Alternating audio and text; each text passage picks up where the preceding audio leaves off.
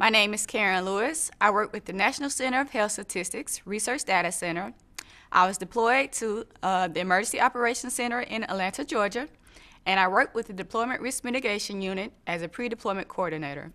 Some of my roles included uh, planning tri-weekly family outreach calls where family members and loved ones of uh, deployed responders could call in and speak with a panel of experts about Ebola or deployment-related questions.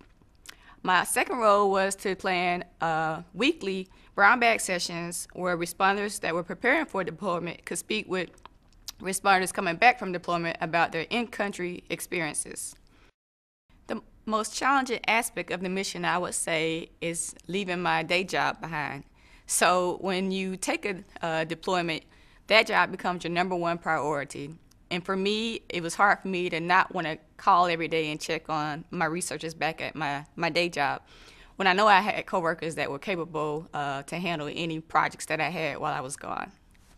If I had the opportunity to go back and do a second deployment, I absolutely would go back. Um, I enjoyed my time there when I worked with the Deployment Risk Mitigation Unit, and hopefully in the future I can work with a different team and possibly get a different experience.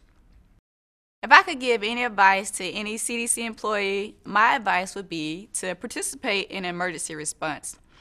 Um, I think it's a great opportunity for us all to really learn what CDC is about, understand who CDC is as a public health entity, and it's also a great opportunity for you to participate in something outside of your day-to-day roles. When I was a young girl in undergraduate college, my one goal and my one dream was to work for the Centers for Disease Control and Prevention. And now that I'm here and I got to participate in the Ebola response, I can absolutely say that it really met my expectations. It was very exciting, and this is what I came here for. This is what I came here to experience.